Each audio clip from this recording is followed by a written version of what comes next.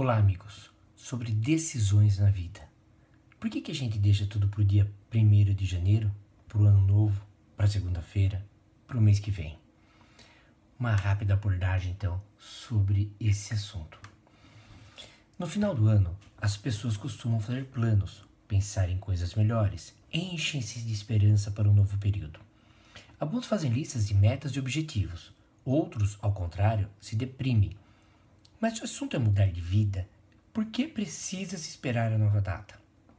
Precisamos ter desejo de mudar para melhor, sempre.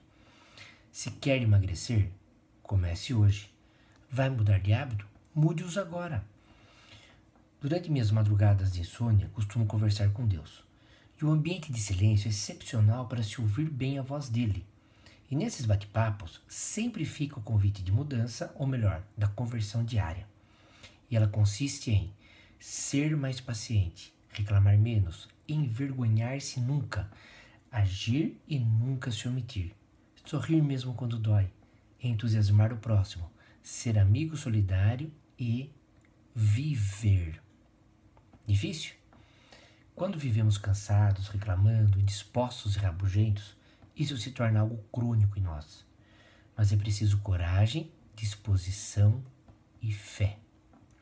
Que tal começar hoje o que você, e eu me incluo aqui, planeja fazer só no dia 1 de janeiro? Bom dia.